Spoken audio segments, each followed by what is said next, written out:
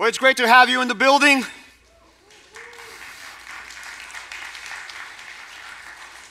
I think I got to start again. I'm going to come out.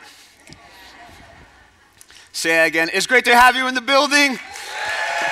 There we go. I feed off of energy. I want you to smile at me. If you don't like something, don't tell me.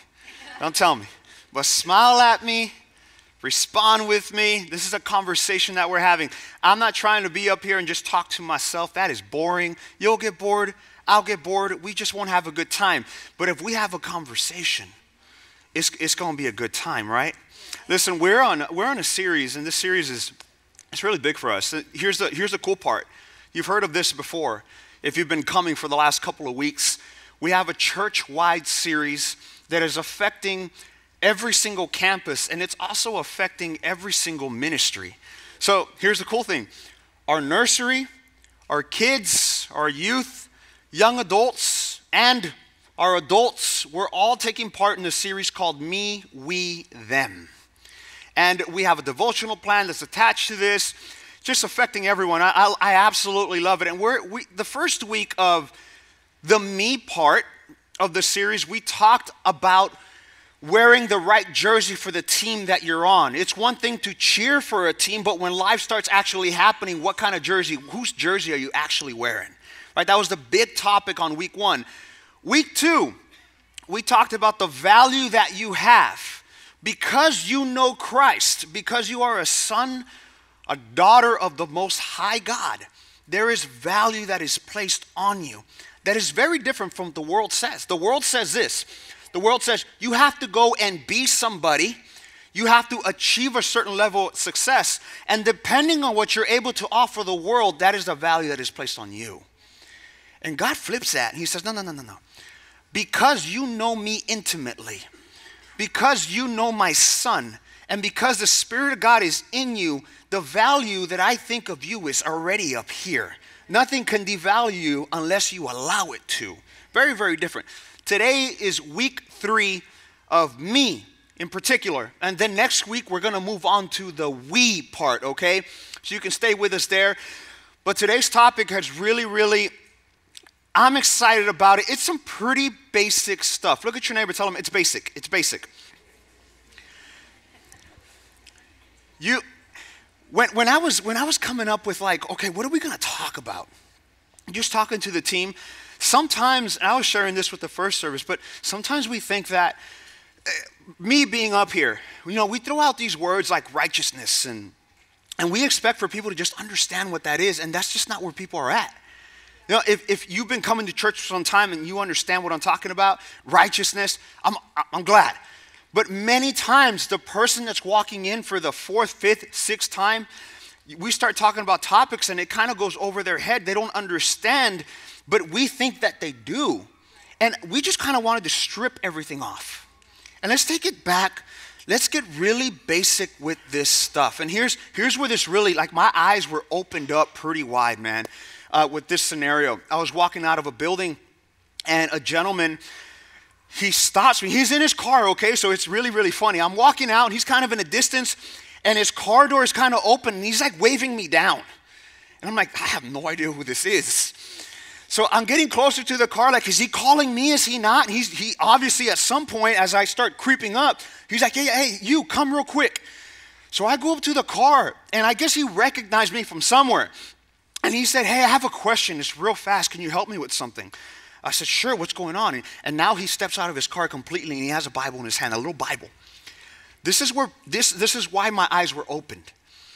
He pulls out his Bible and he says, Listen, I, I accepted Jesus not too long ago, and I'm having some trouble understanding some stuff. I said, Okay, what can I help you with, man? He's like, I heard some guy on, on, on YouTube, and he said something like Corinthians 6, and he gets his Bible and he says, Where is that? Where is that? And I'm thinking like that's where that's where people are at. And we speak sometimes like we expect people to be up here. It's like, man, people are just walking in the door, they're just getting to know the Father. They're just getting to know the things of God. So we're stripping all that back. And I'm getting down to the basics. Why am I saying that? This is important. Because if you're in the building and I start sharing on this topic, you might be thinking, if you're a church veteran, you might be thinking, I already know this. I want you to partner with me in this, okay? And the way, you, the way that you partner with me is there's a lot of people in this place that do not know the things that you might be hearing today that you already know. And when they start coming, I want you to be praying with me. Instead of sitting in the scenes like this is just for me to receive, turn the attention a little bit. Now I'm kind of calling on my church veterans to say, I'm going to pray even throughout the service, believing that those that are walking in for the first, second, third time are going to understand the topic that is being talked about today. All right? That's a little bit different what I'm asking you to do today. But listen, let me read scripture real quick and open up the topic that we are going to be hitting on. John 14, 15. And here's what it says it says, If you love me, obey my commandments. And I will ask the Father, and he will give you another advocate who will never leave you. He is the Holy Spirit who leads into all truth. The world cannot receive him because it isn't looking for him and it doesn't recognize him. But you, you know him because he lives with you now and later will be in you. No, I will not abandon you as orphans, I will come to you. The title of my message today, in case you're taking notes or care to know, is You Need Your Headset. You need your headset. Do me a favor. Look at somebody next to you. Look at them deep in the eye. It might be awkward. You might be, I don't even know this person. It's okay. Tell them, ask them, where's your headset? Ask them, where's your headset?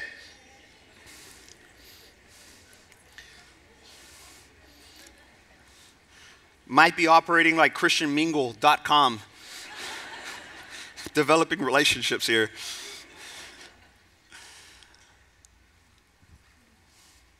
Listen, this is how simple I want to break down the day. I, I got to tell you what happens when you come to know when you come to know Jesus Christ as your personal Lord and Savior. You know, it's one thing, let, let, me, let me take it even to a more simple approach. There's a difference between thinking or just simply believing that Jesus is the Son of God and actively following Him with your life. There's a difference. It says in, in Scripture, it says that even the demons believe that Jesus is the Son of God and there's no benefit for them. So there's an actual pursuit, a relationship with the Father. But here's the cool thing that happens within your life when you, many times people raise their hand, and I shared this just really deep thought that I get sometimes when, I, when I'm up on the stage and I see people raise their hand to receive Jesus. And when I'm up here, I'm like, that is so awesome. Like, I'm glad they're making this decision. It's life changing. But then when I walk off this way and I go through the back curtain, I walk through the back over there, you know what starts going on in my mind? I've already told some of you all this if you happen to be here the last couple of weeks. In my mind, I start thinking, I hope that they stay. Not that they stay at the family church, because if that's the mentality of like, oh, me and my church, we got it wrong and we got it twisted. I start thinking, I hope that they stay in relationship with the Father. I hope that this changes their life truly that they commit to this because, man, it'll change them. It'll change their, their, their relationship with their kiddos if they got them. It'll change the entirety of their life. I hope that they stay. And there's one, one thing that is so key to understand. When you come to know the Father, when you accept Jesus Christ as your Lord and your Savior, something very, very powerful happens. Listen, you are taken out of darkness and you're brought into light. You're not seen as stained, as blemished, you're seen as white as snow. You're seen, look at this. You are seen as holy, you are seen as worthy, you are seen as valuable. I don't know about you, but I get excited about that kind of stuff because I'm like, yes, that's what I need. Not the old Ricky. That, that guy, uh uh-uh, uh, we don't want him. But the Ricky in Christ, totally different. Why? It's not that, oh, I accepted Jesus Christ, and out of nowhere, all the cavities in my mouth, they're gone. And I don't walk anymore, I float. no, no, no, no. There's something that happens on the inside. It's a spiritual mark that comes on you that is incredible. It's why you're able to be brought out of darkness and into light. It's why you're seen as holy. You want to know what that is? The Holy Spirit of God comes to reside, not around you, not amongst you, not at the family church. He comes to live in you. And now, when God looks at you, he doesn't see the old Ricky that was damaged and blemished. Now he sees Ricky in Christ He's looking at me as holy and he's looking at me as worthy. We got to understand that basic truth. I'm taking it back to the basics, all right? Ephesians verse 113. I'm going to prove this to you. And now it says, and now you Gentiles, and you might be thinking, who in the world are the Gentiles? Basically, it was anyone that wasn't of Jewish bloodline, okay? But that's not important. That's been kind of abolished. That's not the way we live anymore. And now you Gentiles have also heard the truth the good news that God saves you. And when you believed in Christ, He identified you as His own. How and why? I got the answer for you right here.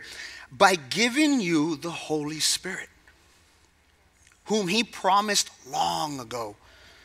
Verse 14 the Spirit is God's guarantee that He has given us the inheritance that He promised and that he has purchased us. You're thinking, There's, there was a transaction for me? Absolutely. When Jesus goes to the cross, when he suffers, when he's beaten, when he's hung on the cross, when he dies, when he resurrects, that was a price that was, there was a price put on it. And he purchased you with that act to be what? His own people. I'm going to drive it home one more. Everybody say one more. John 14, verse 16, okay? Because I really want this to stick before we move on. 16 says, And I will ask the Father, and he will give you another advocate. We read this at the beginning, who will never leave you. He is the Holy Spirit who leads into all truth. The world, it cannot receive him because it isn't looking for him and it doesn't recognize him, but, but you know him because he lives with you now and later, by the way, we're living in later now. This was before crucifixion. And later, today, he will be in you. I'm going to read one more to you, and before I do that, I got to give you some context. I got to share what's going on so that you can really connect, connect with what this, the disciples are thinking and what they're feeling and why Jesus is saying these words. So, Jesus is, as you read John 14, 15, and 16, and we just kind of read some of those scriptures right now, as you're reading those scriptures, let me give you timeline. The timeline here is Jesus is about to be taken by his own free will. He's about, about to be taken, put into trial, and crucified, and he knows that it's coming. So, what does he do? He gathers his 12 disciples and he's teaching them over and over and over again. He's teaching them. John 14, 15, and 16, they mean something. Now, this is a very personal thing, okay? I'm not saying that it's more important, but to me, they, they stick out a little bit more than John 1 and 2 and 3. Why? Because if you've ever had a loved one or a friend that's on their way out of this life and they got some final words to share, don't those words carry a lot of weight? Oh, they carry a lot of weight. You, you want to lean in. What do you got to say? What's on your heart? What's on your mind? Talk. You got all of my focus and all of my attention. In John 14, 15, 16, that is what is taking place. Jesus knows he's about to face the cross and he's pulling in his team. He's saying, I got to share these final things with you. And he keeps talking about a topic that is so important. They hadn't experienced it before.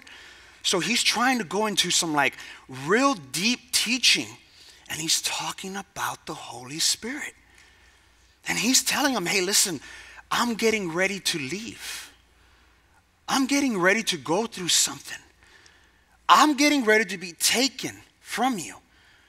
But I don't want you to be scared and I don't want you to be sad because it's actually better that I leave.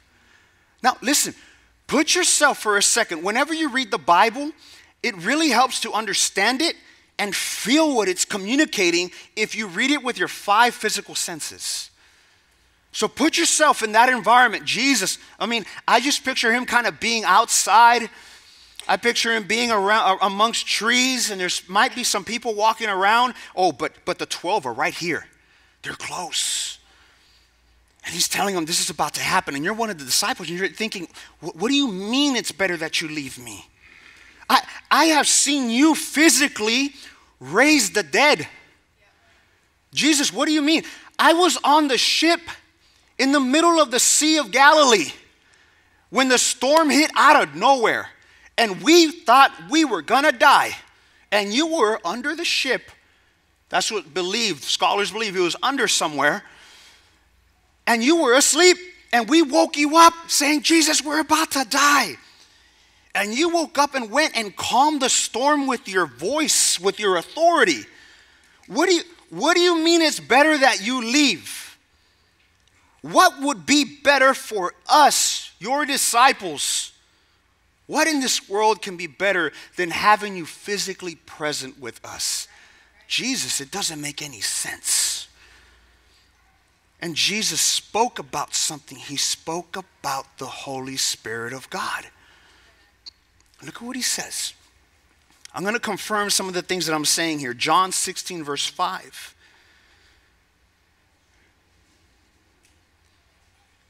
And he says, But now I am going away. I'm going away to the one who sent me. And not one of you is asking where I am going. Verse 6 is the attitude I was telling you about. Instead, you grieve because of what I've just told you. Verse 7 But in fact, it is best for you that I go away, because if I don't, the advocate won't come. The advocate is the Holy Spirit. So he's saying, John, Peter, Matthew, my disciples, you got to understand, in order for you to experience, here's the crazy thing you and I experience that today. If you are a believer in Christ, if you're of the faith, you have that Holy Spirit that Jesus died for. And he's telling them, it's like, you don't get it. You don't understand it yet.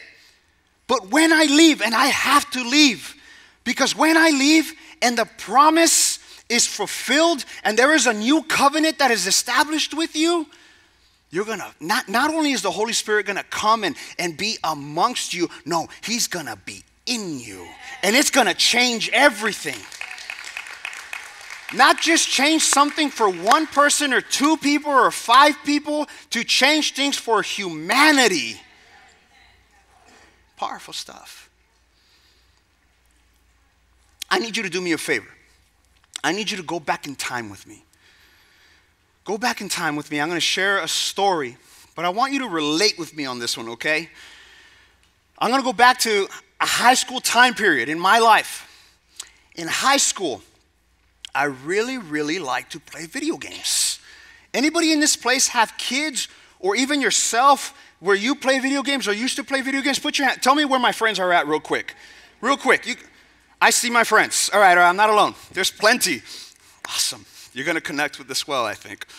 Listen, back in the day, I loved I loved playing video games. So you put on FIFA, put on Madden, put on Call of Duty, whatever, we were gonna throw down. It was gonna be a good time. Me and my friends would throw these headsets on and we were communicating, just throwing down for hours on end.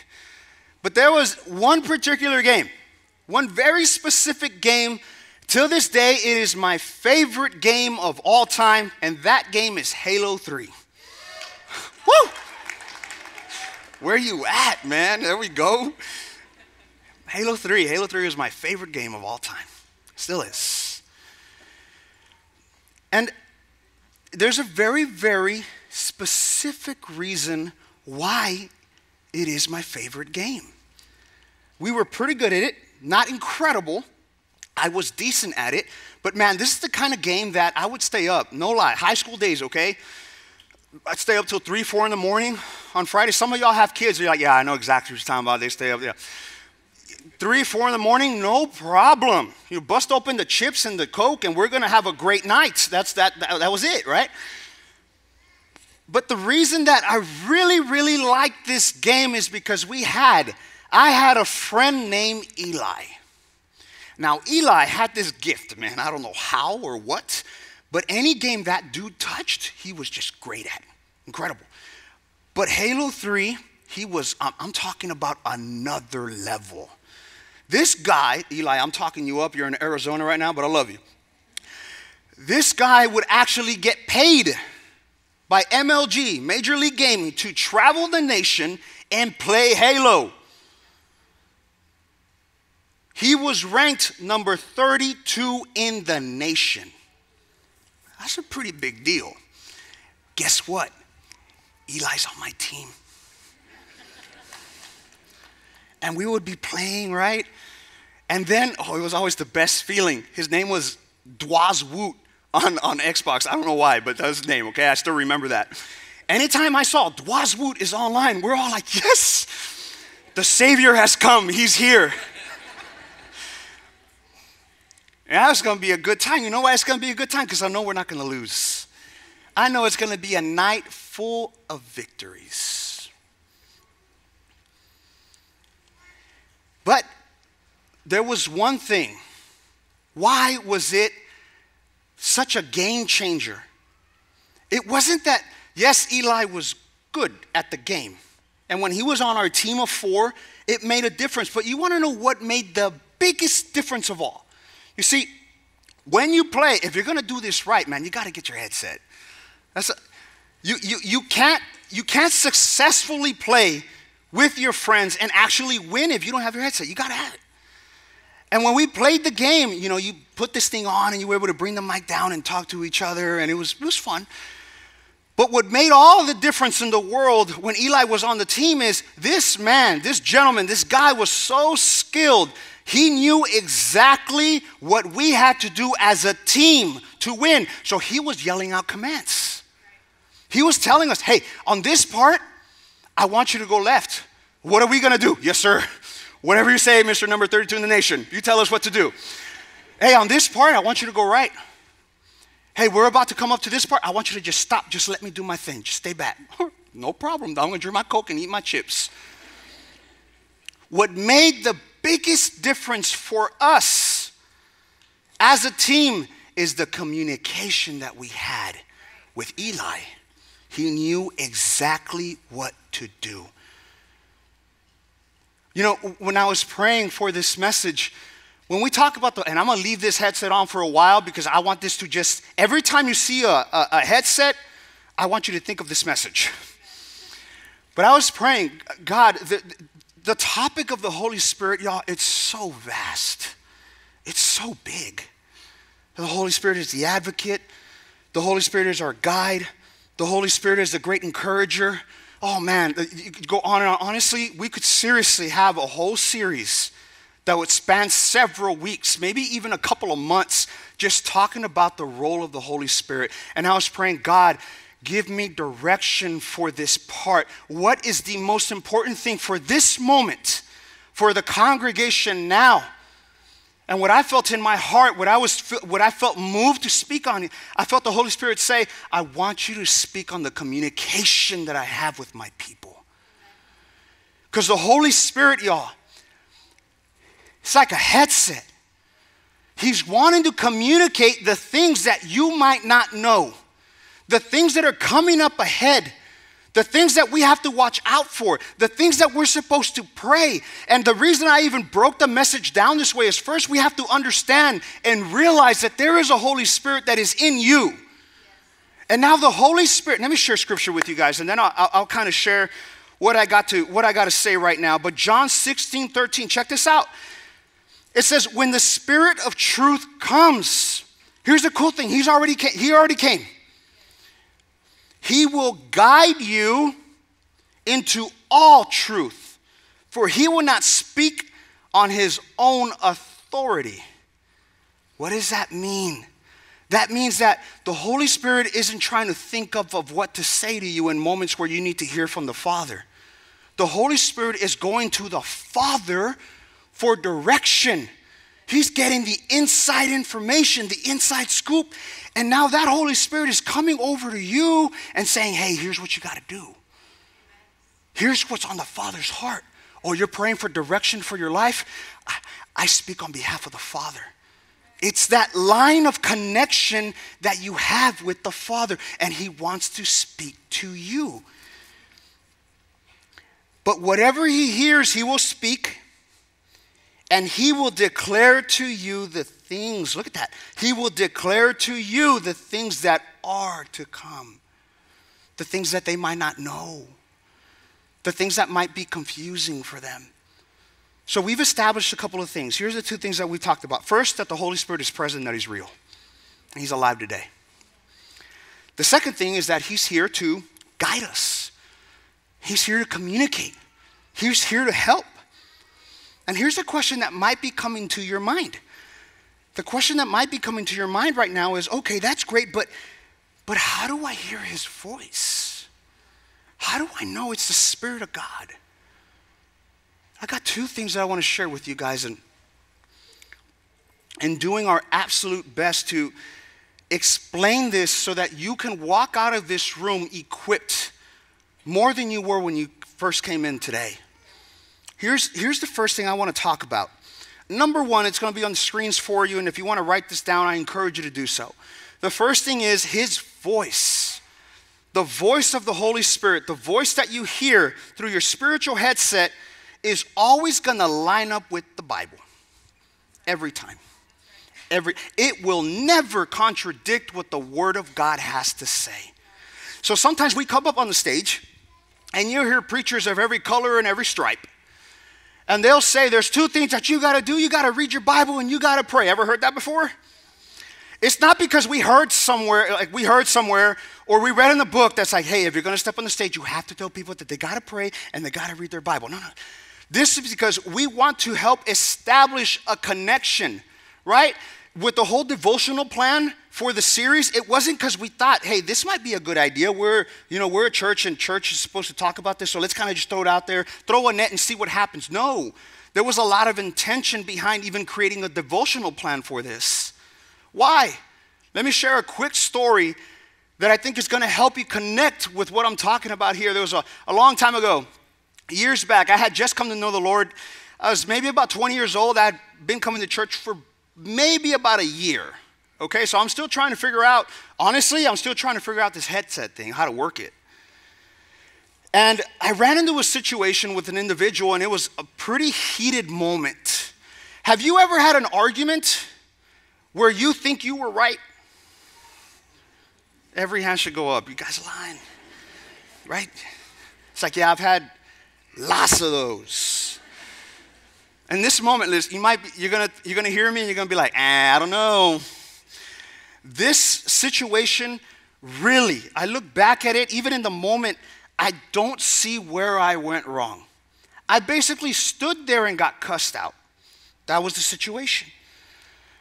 And I, I'm, man, I'm upset. My face is fired up. Anybody like, you feel heat down your body when these moments happen, right? You know, don't raise your hand, you know what I'm talking about?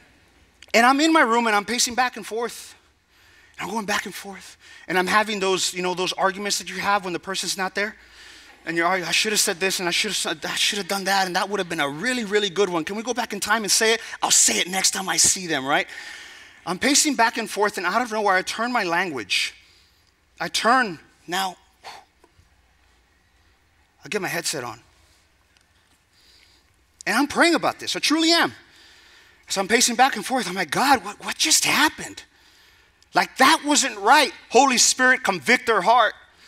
I pray that they repent. and I felt the Holy Spirit tell me something.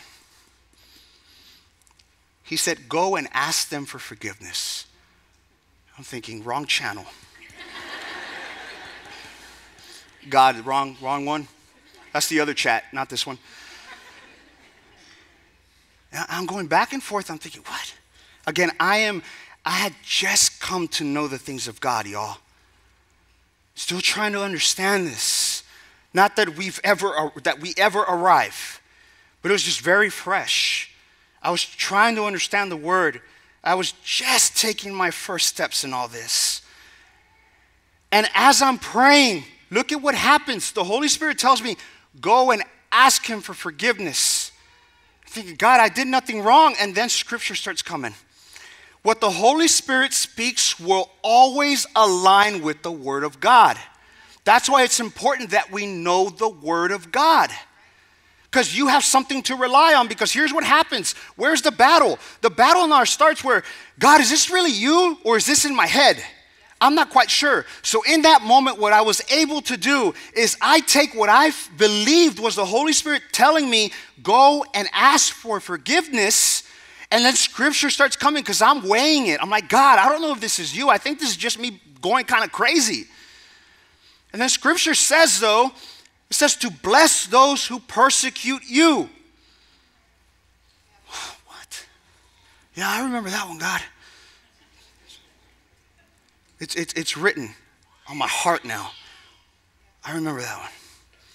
And then other ones start coming to my mind. If you do not forgive, you will not be forgiven. Whew. Yeah, I'm weighing it on the word. What I feel the Spirit of God is speaking to me.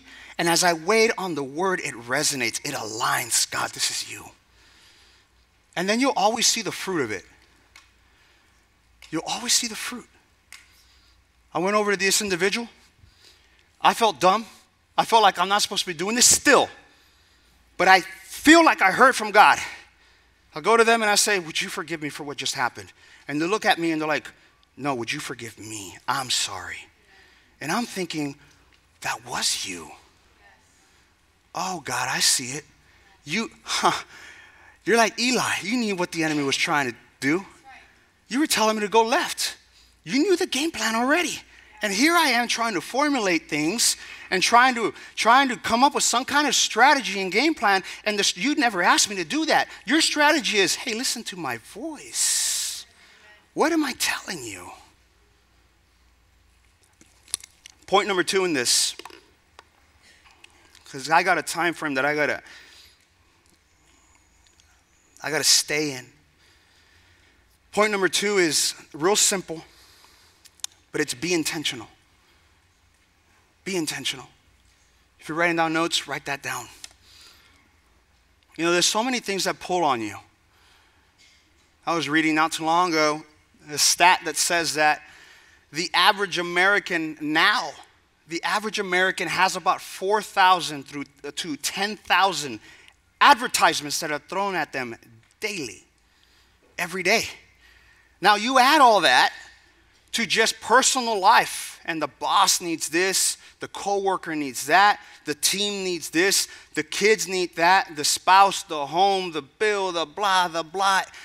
It's so vast. And I'm not saying, I'm not wanting to hit on all that kind of stuff. What I am saying is it's very easy for your attention to be given out to everything. It's hard to cut down and try to be intentional with the time that you do have. I'm going to share scripture with you in just a moment that's going to resonate with what I'm saying. But there's an approach that I take. Everybody's is different, y'all, but I want to paint the picture. Again, I want to be really, really practical with what I am saying because I want you to just hang on to what I'm saying and apply it to your life. This is what it looks like for me personally. I don't come, it's not at the family church, it's not here at the altar, it's not even in an office, it's not those things. Where I hear from me personally, where I really connect is I would get home. Wife and child, they're asleep. And I sit on the couch, always in the same spot, it's my spot, and I'll just put some worship music on and I start praying. There are times where I have music, there are times where I don't. But what am I doing? I am being very intentional. God, I want to hear from you. What am I doing? Example, I am being intentional with, I want to hear directly from you. How does He speak through us? Through His Holy Spirit. And then I'll open up my Bible and I'll read and I'll close it and I'll pray and I'll meditate on what it's saying and I'll open it up and I'll read and I'll close it and I pray. It's this back and forth communication that I'm having. And sometimes, you want to know when some of the messages come for Sunday mornings or Wednesday nights or wherever it may be? When I'm being intentional. Just yesterday, oh, I'm real excited about this one. I won't tell you what it is yet. But I was sitting and I was just praying, being intentional, and God just dropped something on me.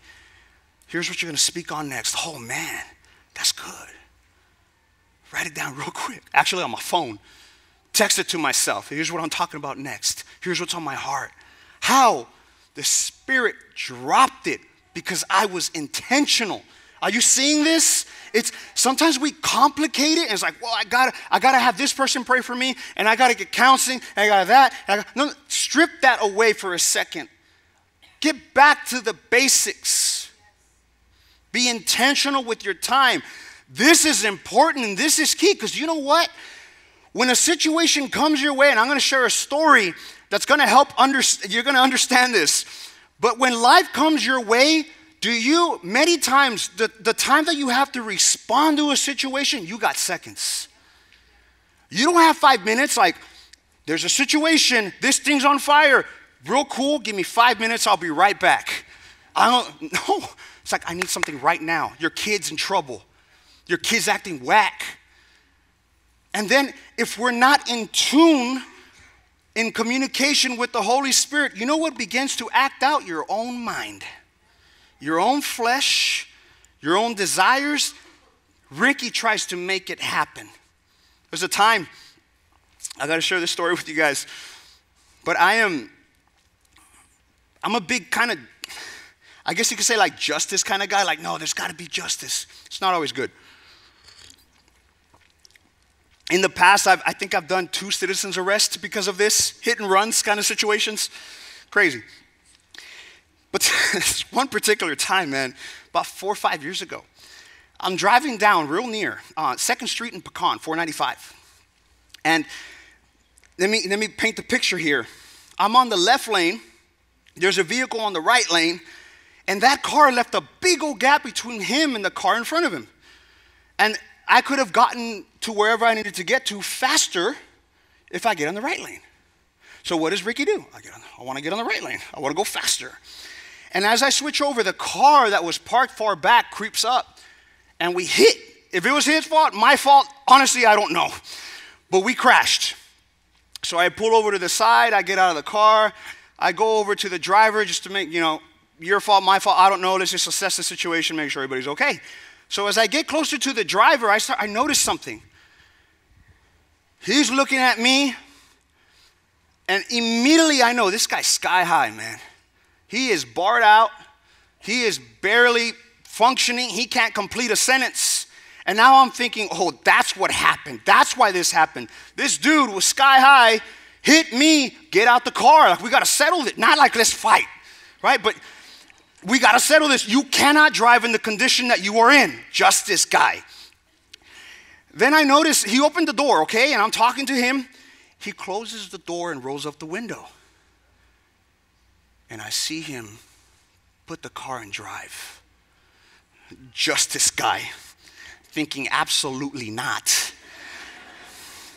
Ricky runs up to the front of the car, and I'm standing there like, you, you're not doing this you ain't leaving. So I'm staring him down, and he's looking at me, and I'm thinking, this guy might be crazier than me right now.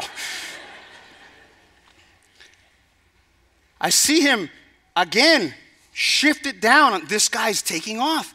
What does the guy do? The guy takes off. Where am I? In front of his car. I jump on his hood. Not because I wanted to, there was nowhere else to go. Really, there wasn't. So there's Pastor Ricky on 2nd Street and 495 on some guy's hood. Hey, TFC, what's going on? Just trying to deal with a situation here, real quick.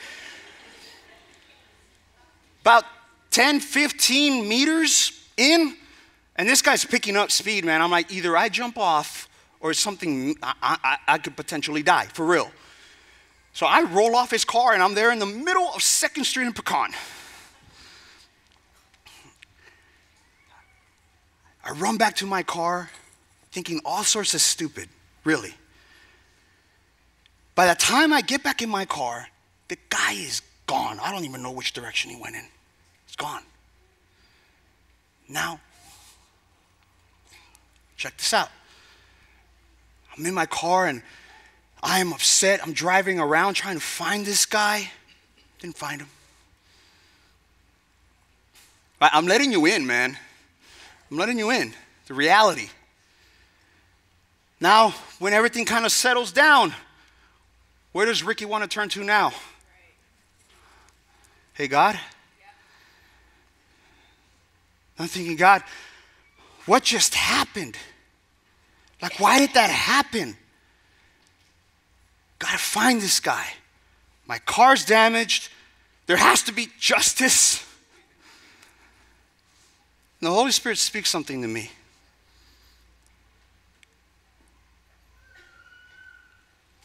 Very simple, but it left me sitting in my car in silence. He says, I was trying to talk to you. I was trying to tell you to get away. I was trying to communicate with you, but you allowed your flesh to take over. You turned off your headset. Life comes really, really fast. And it's important that we stay in tune with what God is trying to tell you and not try to handle things on your own because it is so easy, church. It's so, you know what I'm talking about when a situation comes or something is said, what wants to flare up? You, your mind, your will, your emotions. But what is it that's supposed to be on the forefront of the way that we communicate and the way that we talk? What is God saying? If we could operate this way, church, I'm, I'm challenging you to do something. I'm challenging you to go from this level of how we live and a lot of how we live, I'm talking to everyone right now, man. If you don't know Christ, you got to know him, by the way. Because without Christ, you don't even have access to this. But I am challenging people of faith in this place. How do I know this is real? How do I know that a lot of people are just not wearing the headset? Because the first thing that people want to do when a situation hits or times of trouble come, let me start calling people. Let me start calling the church. I need to talk to a pastor. I need this, I need that. And we're here for you. We love you. But I'm trying to, cha- I'm challenging you to grow in the things of God. Because God, there's a line of communication that you have before it's anybody on staff or any pastor, it's with the Father. And now I've come to understand something. When I have a, a, a conversation with someone and they're going through something, turn, I, I slowly kind of turn it and I ask them questions like, hey, tell me what you've been praying. Hey, what does God have to say about this? Have you asked him? No, not really. That's why I'm here. I'm here to hear. I'm here to get direction. I'm like, time out, my friend. And I'm going to say with all the love in my heart, it's not my job to hear on behalf of God for you.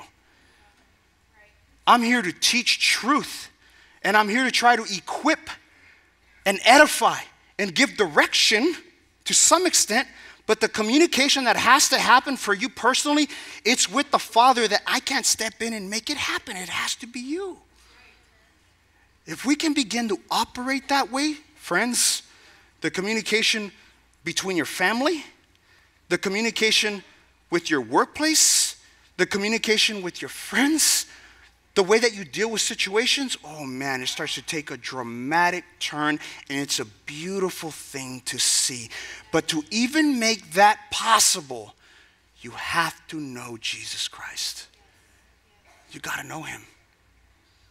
You got to have a relationship with him. Would you do me a favor and bow your heads and close your eyes real quick with me? Last thing we're going to do this morning, this afternoon, really this part is so key. Man, this is the most important part of service. This is going to be the most important day of many people in this place' lives. It's the day that you come to know who Jesus is, and everything changes. Holy Spirit comes and lives within you, and now you have access to what the Father has to say. Incredible thing. Listen, if you're in this place and you don't know who Jesus is, you got to know him. You want, I shouldn't say it like that. You want to know Him. You want to know Him.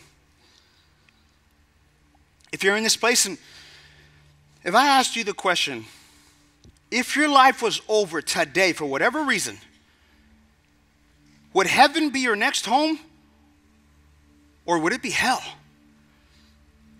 If you can't answer that question with certainty in your heart, you need Jesus. And you want Jesus, trust me.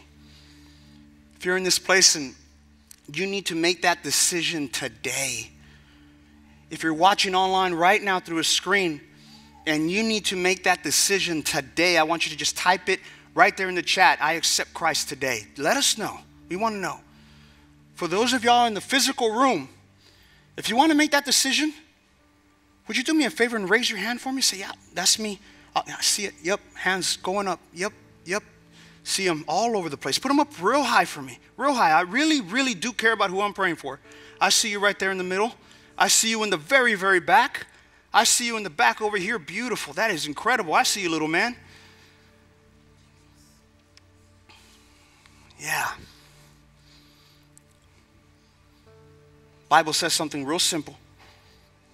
Says that when we confess with our mouth that Jesus is Lord, that he's king, when we believe it in our hearts, that's that move of faith that Jesus comes to live with us, the Holy Spirit comes to reside in us, and heaven is your next home. Beautiful move. If you're in this place, I want you to pray this prayer with me. If you've accepted Jesus before, I want you to pray this prayer with me, regardless, to encourage those that are making the decision today. If you're watching online, wherever you may be, I want you to pray this with us. Would you say, Father, I thank you for Jesus who left heaven, who left glory, who left everything to come to this earth to show us the way and ultimately to give his life for me. And Father, on the third day, I know that he rose again. And right now, I ask that you come into my heart, that you forgive me for my sin, and that you save me right now. In Jesus' name we pray. Amen. Amen.